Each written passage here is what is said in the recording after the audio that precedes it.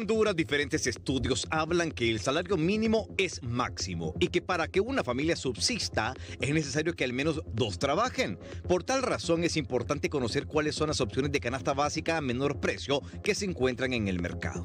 Aquí nos preguntamos, ¿es Banasupro realmente la mejor opción para ahorrar dinero? Primero es importante que sepa que actualmente solo medio millón de hondureños tiene acceso a sus 116 centros de venta, a los móviles en 149 aldeas que son visitadas y cuentan con presencia en 99 de los 298 municipios, o sea que en 199 aún falta cobertura. Tenemos de todo lo que vende la competencia, pero la intención es regular eh, ese precio de la competencia, frenar esa alta desmedida y apoyar al pequeño productor, al agricultor al, campesino, a toda aquella persona que necesite de los productos de AgroSupro para poder fortalecer su, producción, ¿verdad? Y, pues eh, la intención es llevar muchísimos AgroSupro, aparte de los Banasupros, que ya Banasupro hemos crecido, lo sacamos ya Banasupro de la tolladera donde lo encontramos y ahora queremos hacer lo mismo con AgroSupro. Para hacer este comparativo de los precios tomaremos los principales productos de consumo en las familias hondureñas. Primero el azúcar. Si va a Banasupro le encuentra en 10 lempiras la libra, pero si se traslada a la feria de Villanueva lo encontrará en 13. El cartón de huevo de 30 unidades en Banasupro lo encuentra a 79 lempiras, pero en la feria del estadio a 82 lempiras. Los frijoles, la libra, en Banasupro los encuentra a 17 lempiras, pero en el Zonal Belén, en Comayagüela, a 22. La libra de arroz en Banasupro la encuentra a 11 lempiras con 50 centavos, pero si va al mercado el rápido de San Pedro Sula lo encuentra a 12. El aceite la libra a 31 lempiras lempiras en Banasupro, pero en los supermercados en general, según los monitoreos, se encuentra a 36.73.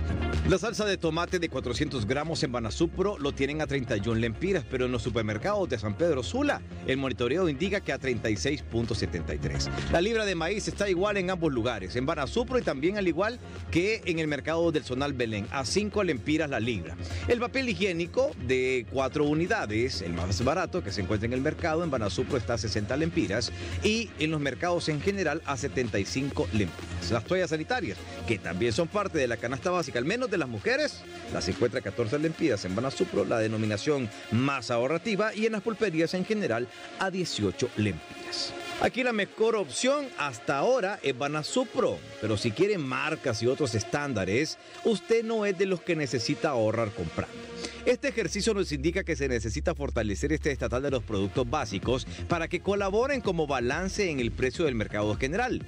Hoy trabajan con un presupuesto de mil millones de lempiras que debe ser autogestionado mediante la actividad económica. En 2022, según las autoridades, encontraron un déficit por deudas de 200 millones de lempiras. Por eso el Estado tuvo que inyectarle fondos de unos 390 millones de lempiras para regresarlo a la actividad económica.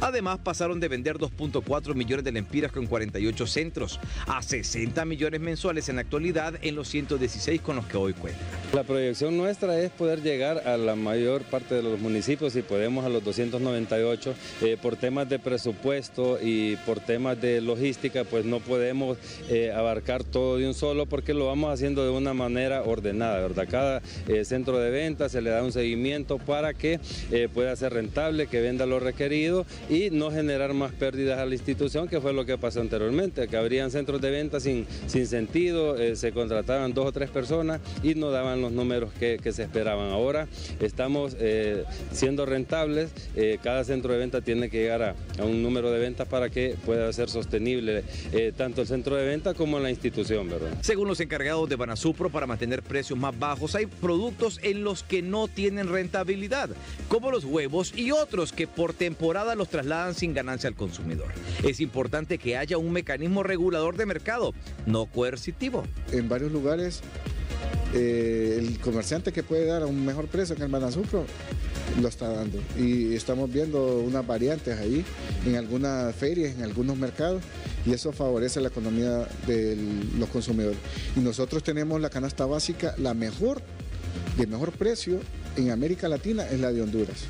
Y eso lo vemos reflejado y si usted viaja a cualquier país de Centroamérica, usted va a ver que el impacto económico se ve La inflación no ha afectado mucho en nuestro país y en base a eso pues eh, vamos por un buen camino. Usted puede comprobar lo que le hemos contado. Al final lo importante es el fomento al crecimiento de instituciones que les quedó en la historia la fama de tener buenos precios y que hoy están buscando volver a este importante rol en la atención popular. Con cámara de Alejandro Irías, edición de Alejandro Flores. Para HCH Televisión Digital, Moisés Izaguirre.